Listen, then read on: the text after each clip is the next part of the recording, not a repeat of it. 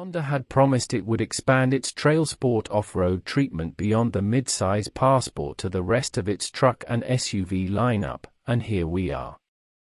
The larger three-row Pilot is set to gain a Trail Sport variant, and Honda is dangling its rugged new family hauler in front of us.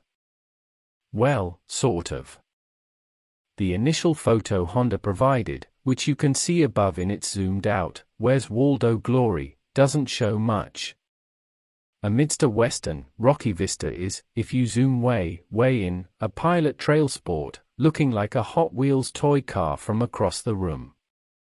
Don't even bother getting closer to your screen, we blew the image up for your perusal below, but to ruin the surprise, even the tiny, blurry pilot trail sport in the photo is a camouflaged prototype. Along with the photo, Honda released this brief statement the most rugged and capable Honda SUV ever is coming soon to round out the year of the SUV. Hash Honda Pilot O, and, per the press release, the Pilot Trail Sport will get you there. And back.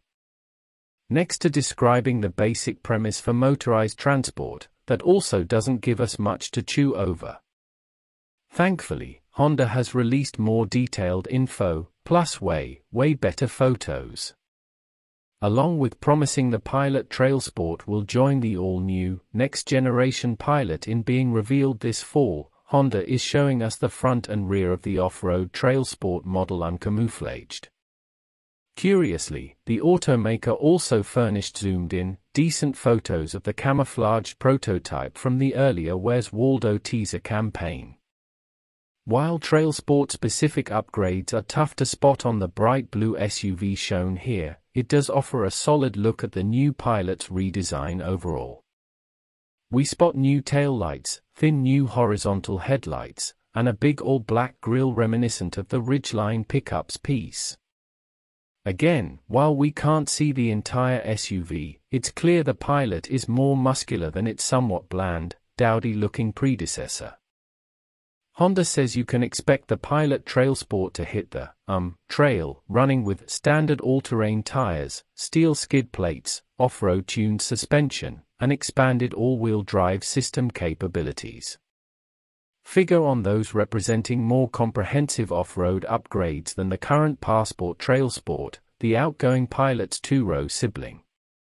That stubbier trail sport model is set to develop into a harder core, more focused, more upgraded package sometime in the future, having started out largely as a style play when it launched for 2022. Given how the Passport and Pilot are essentially identical, save for the Pilot's extra but space for a third row seat, it's probably a good bet that the Pilot Trail Sport previews the forthcoming elevated Passport Trail Sport, as well as the next generation two-row Passport generally. For an idea of what the Pilot Trail Sport might look like in normal size, not zoomed out from a mile away or chopped in half, look no further than the Passport Trail Sport rugged road concept Honda showed off late last year. Sporting similar visual upgrades to the Passport Trail Sport you can buy today, plus some extras, it also netted an array of underbody skid plates, a lifted suspension, and more. We'll know for sure what the Pilot Trail Sport brings